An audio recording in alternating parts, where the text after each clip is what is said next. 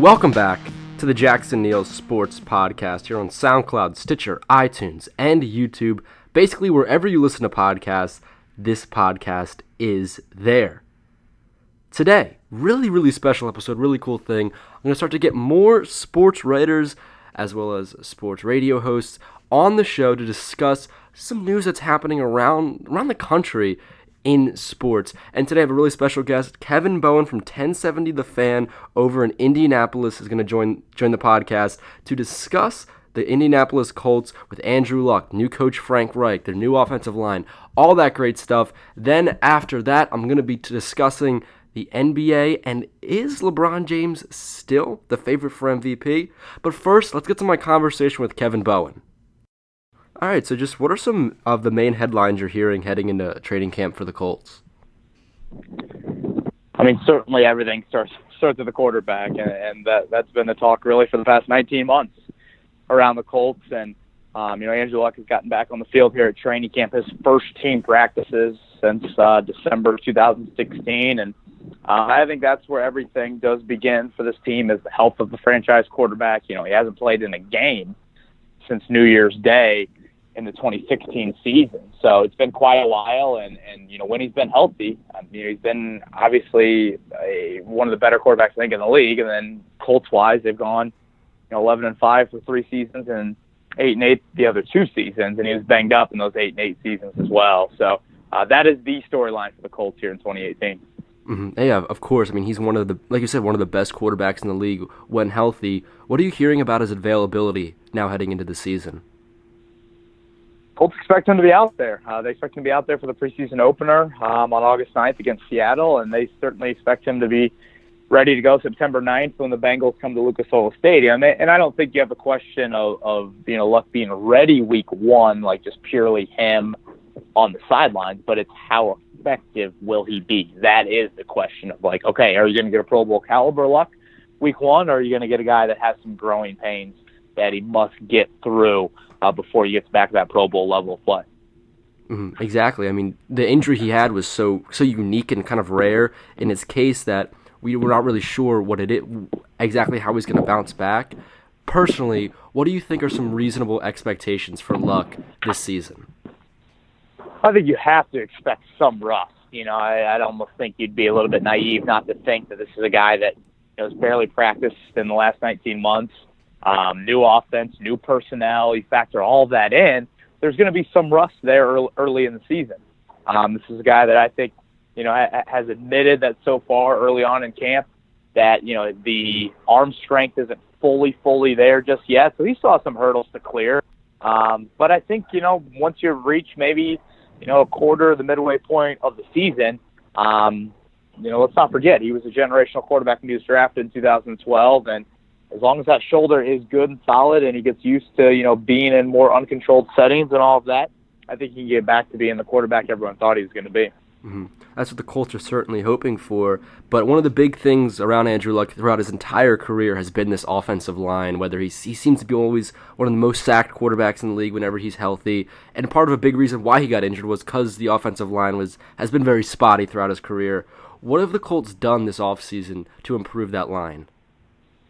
I mean, they have invested resources really unlike any team in the NFL, to be honest with you. I mean, two picks in the top 40 at the guard spots in Quenton Nelson and Braden Smith. They signed a couple veteran offensive linemen and Matt Slauson and Austin Howard, who have started a lot of games in the NFL. So they had a committed approach. Chris Ballard, their general manager, admits that he, you know, he did not do a good enough job last year in taking care of the offensive line, and that was a clear focus this year and the Colts have done that. They have depth in that group, and Chris Ballard even calls it a strength, and that's something we certainly would not have said about the offensive line in years past. So we'll see how well those guys can mesh together, and if that can be a unit um, that is certainly better uh, than what we've seen the past couple of seasons.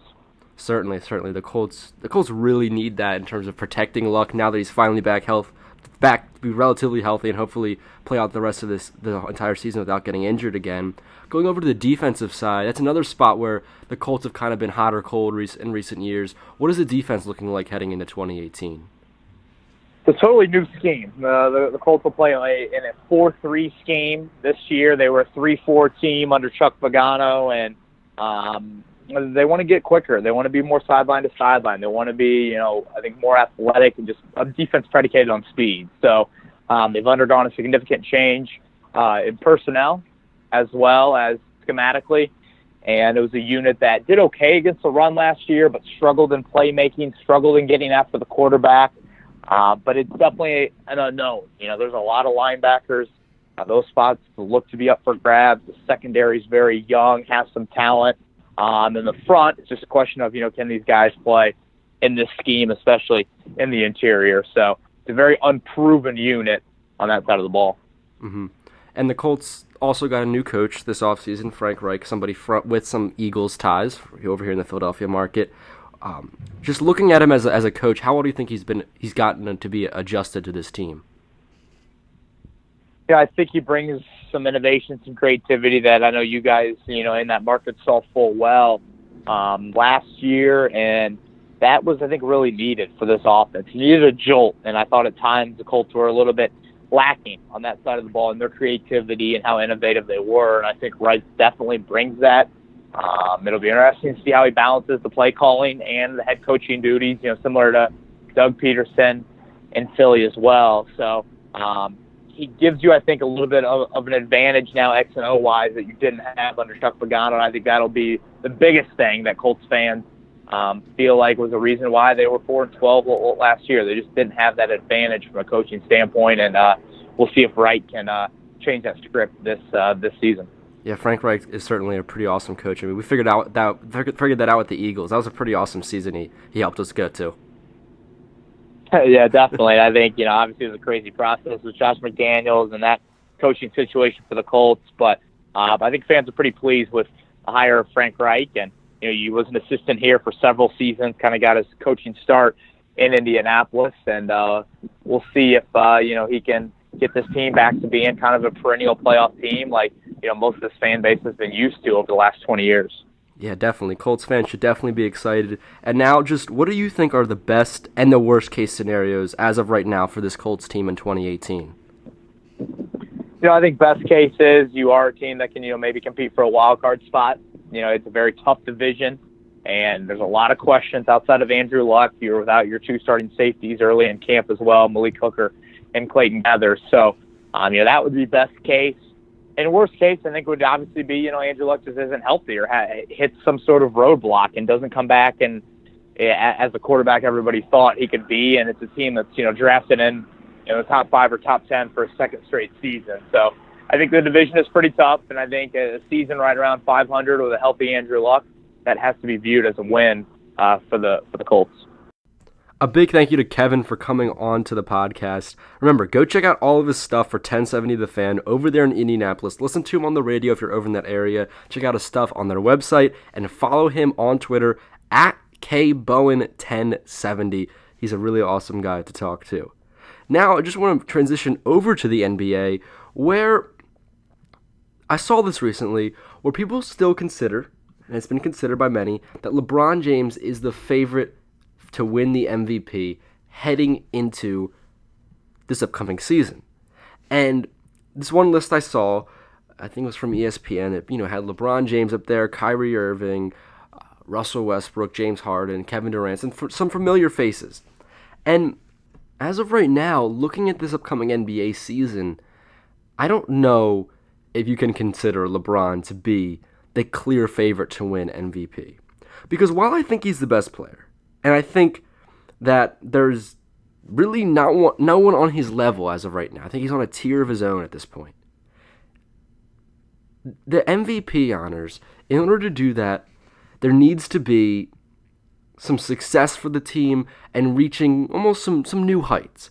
And for the Lakers and LeBron this upcoming season, well, I think they're going to do much better. They're going to do obviously do much better than they did last year. I think I expect them to make the playoffs. I expect them to get kind of a mid a mid range seed. I don't expect them to do all that much in the playoffs because this Lakers team just is not built for that. They have some young guys. They have these veterans now, and while it's an interesting squad, just look at the West. We, we all know the Warriors have five All Stars on their team. The Rockets are still really, really good. Looks like they're going to add Carmelo Anthony. Um, And there's just, um, other than that, after those two top teams, a murderer's row of all these other teams with talent, talented players, young guys, up and coming guys, teams like the Timberwolves, the Pelicans with Anthony Davis. There's still the Trailblazers over there with that backcourt. There's a lot, a lot of really, really uh, good teams in the West. And while I think LeBron James won't win this MV, win the MVP this year, is simply because he's not going to achieve the success needed in the postseason to reach that goal and he's not going and in the regular season he's not the Lakers are not going to have the the record to back it up as well. It's going to be this combination of both of those things where it's just not going to happen. Well, I think he's going to be incredibly valuable to his team. I look at somebody like Kyrie Irving on the Boston Celtics, a team where he um, a, a, team where they're going to do very well. I expect them to win the East, and he's going to be the best player on them presumably, unless Gordon Hayward is all of a sudden uh, a thousand times better after his injury, which I don't expect. So, looking at maybe not necessarily who should win the MVP honors, because when it gets down to who should win the MVP honors, I, I will make the case that LeBron James for the past eight seasons or so really hasn't been a year where he should not have won that award because if you look at the teams he's taken to the playoffs, uh, how much he's impacted them, he's the most valuable player hands down. But how the award is handed out, I see Kyrie Irving as the clear front runner. Where even somebody like James Harden, eh, he's going to be going up against the Warriors. The Warriors aren't going to have the MVP award winner because there's five All Stars on the court to start the game. That they just can't. You can't reach that level of one player standing out above the rest the Thunder, I don't think, are going to be good enough for Russell Westbrook. I think I think James Harden and Kyrie Irving kind of have this, this clear race for it. Where I think LeBron should win it. There really hasn't been many years where I think he shouldn't. It's going to go to either Kyrie Irving or James Harden. I'm calling it now because they have the combination of teams who are going to perform very well and they're going to be the best player with the biggest name and the biggest face on those teams where when the Boston Celtics do really well and win the East and have that ama- have the amazing record and get the number one seed and go far in the playoffs, we're gonna look at Kyrie Irving as the best player on that team, with the biggest name as the biggest name on that team as well. When the Rockets do really well, get the number two seed against the Warriors, have a great playoff series against them, but still lose and don't go to the finals, basically similar to this year, James Harden's going to be the name we look at for that Rockets team. I just don't think LeBron James is going to have the success of the Lakers in year one that's going to allow him to get that award, which I think is unfortunate. I think it's misjudged, but in terms of how the award is usually given to players, I just don't see LeBron James winning it this year. I don't think he's in the right situation to be able to achieve that that um that award. And with that, that'll wrap up this edition of the Jackson Neill Sports Podcast. Really, really enjoyed doing this episode. Remember, check out Kevin Bowen's stuff on 1070 The Fan in Indianapolis. Follow him on Twitter at KBowen1070. Really fun guy to talk to about the Colts. Going to be trying to get more sports writers, sports radio personalities on the show from around the country discussing some of the biggest issues and uh, headlines in sports right now. I think that would really be awesome for this podcast. I'll still I'll still do my normal discussion, talking about giving my thoughts on on sports issues, but want to get some other people on the pod as well. Remember, you can find this as well as the Jackson Neill Music Podcast updated. I'm to go with, let's say, for each of them two times a week, two or three times a week each, right here on SoundCloud, Stitcher, iTunes, and YouTube. Also, in the same exact podcast feed as those two, as the sports and music podcast, is the Anything Goes to Jackson Neill podcast, where I interview musicians that gets updated weekly. The next episode is going to be next Wednesday. My latest episode features a Bureaucratic and the London R&B duo Temptress. Two really amazing interviews. Go check that out if you have the opportunity as well. Follow me on Twitter and Instagram at JacksonNeill20 for more snippets of interviews, from links to podcasts, my thoughts, everything like that. I think I posted a cat picture on uh, Instagram a couple weeks back. So if you want to look look at my cat, go follow me on Instagram there at JacksonNeill20. Thank you so much for tuning in. I'll see you all next time.